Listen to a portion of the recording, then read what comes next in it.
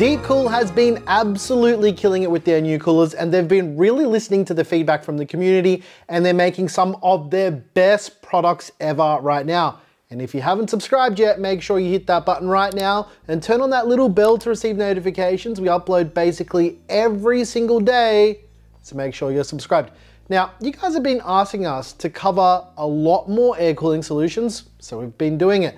But I thought I'd take this opportunity to show you guys how to install Deepcool's brand new AK500 Digital for both Intel and AMD systems.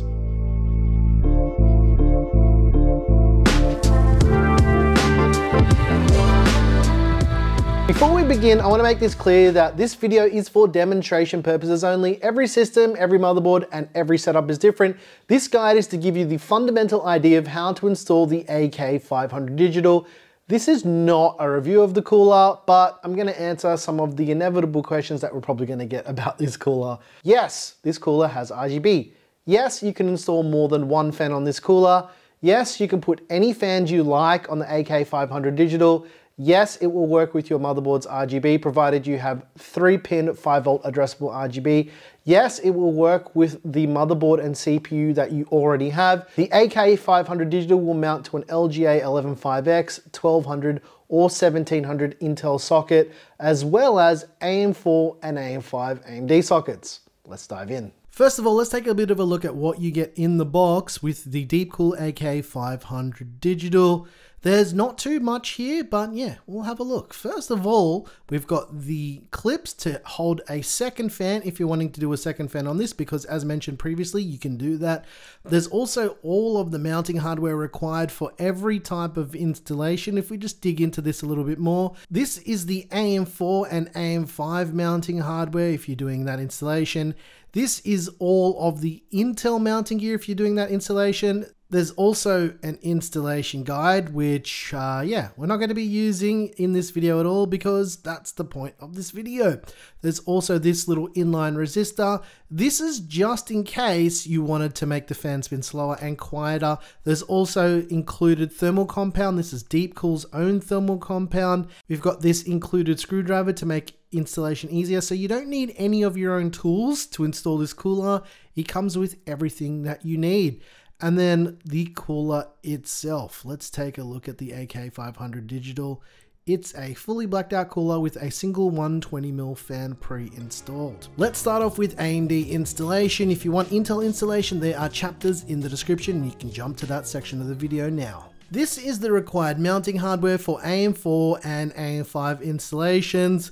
There are no exceptions here. You do need to use all of this. Let's start off with removing the stock mounting hardware that'll be on either your AM4 or an AM5 board. For AM4, you will need to leave the backplate in place. With AM5, it is there all of the time. You can't remove it. So just remove the mounting clips. You can use the included Deepcool screwdriver to do this. And once you're done with that, we can move on and install the mounting hardware. First of all, you want to locate four of these screws. What we're going to do then is fasten them into the backplate that's pre-installed on the motherboard. You can finger tighten these, don't over tighten them, otherwise it's going to be very difficult to remove them at a later point in time. Locate the AM4 slash AM5 mounting brackets. This is what they look like here. Then line them up with the screws we just put into the motherboard making sure that the arrow with CPU is facing inwards towards the CPU.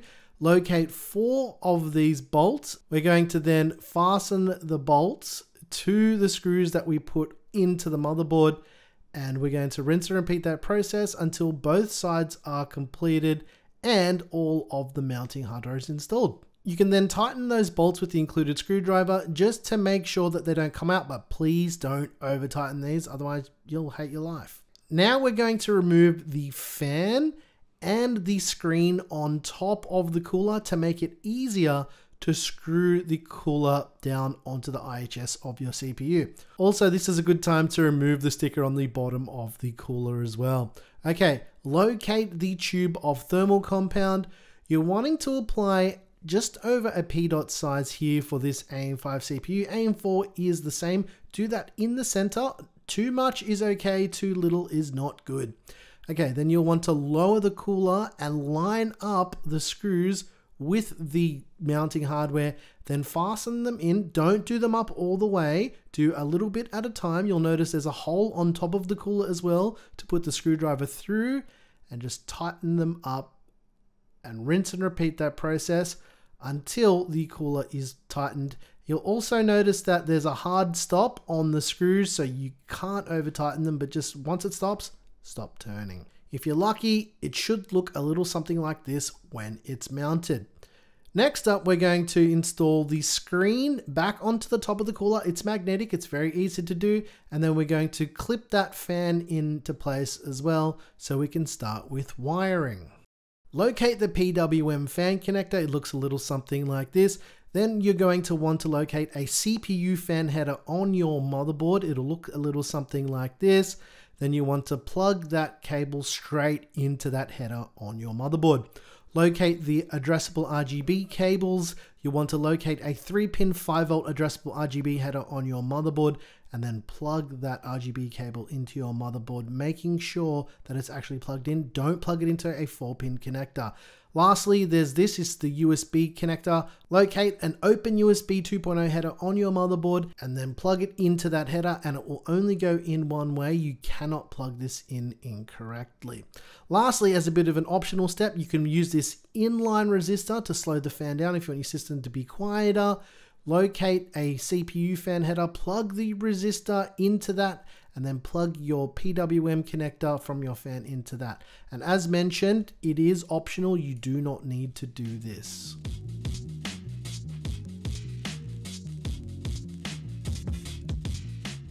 This is the mounting hardware required for Intel installations. There are two brackets, four bolts and four screws. You'll also require this backplate here and depending on your socket, you'll need to change the offset here. Basically, you just push them and they'll clip into place.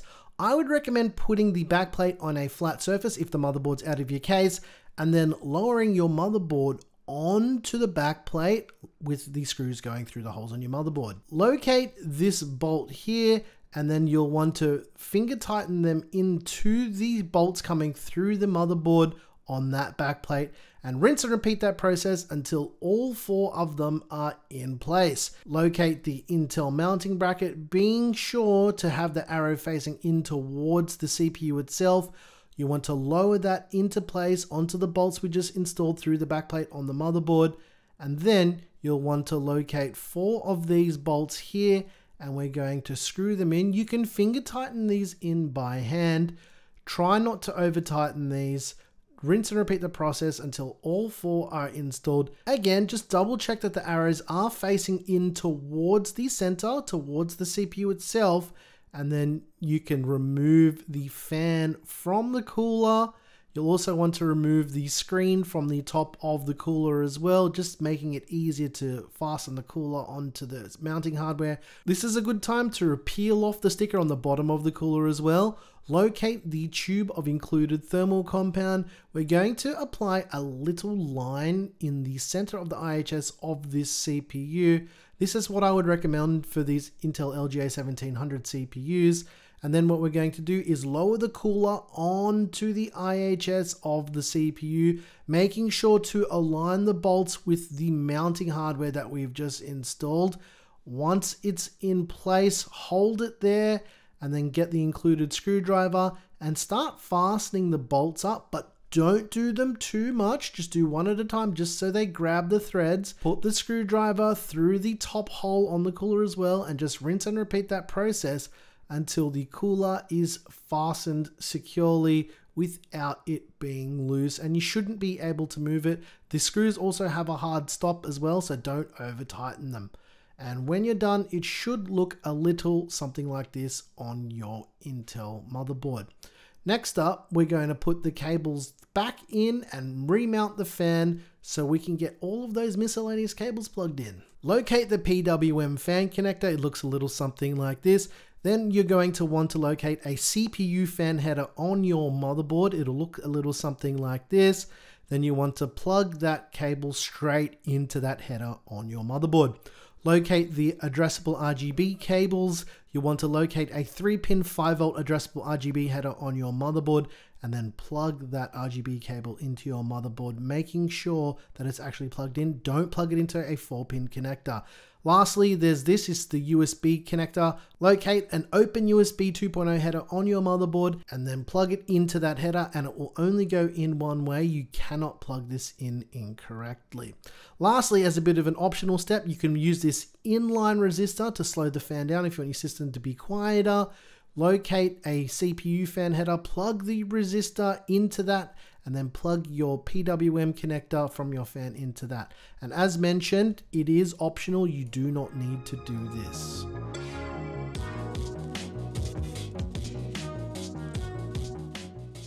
Head on over to the Deepcool website to download the software for the cooler. We're then going to quickly install the software. It's a very straightforward process, should take about 20 seconds to install the software. It'll install and it'll be in your system tray and all of the settings for the cooler will be there. You've only got a little bit of customization with this cooler so you can change the temperature scale, alarm controls, and yeah, it's very, very basic software. And that's it. And if everything went to plan, it should look a little something like this.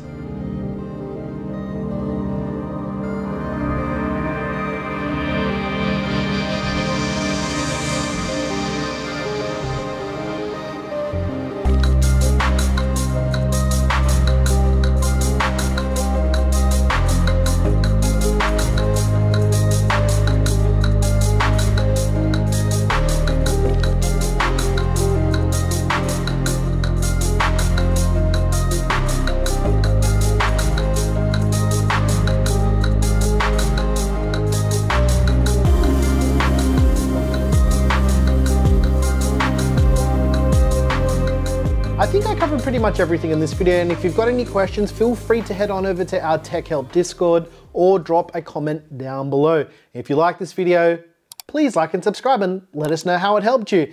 And if you didn't like this video, eh, that's fair enough. Once again, thank you so very much for watching. I'm your boy Nick with Gear Seekers. That's me, right? Yeah, you peek, we seek, and yeah, let us know if this video helped you. I appreciate you all very much. Thank you so much for watching.